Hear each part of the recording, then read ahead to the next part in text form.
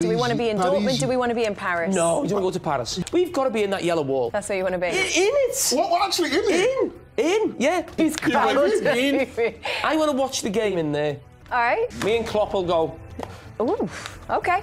Does Klopp, Klopp like you? I hope so.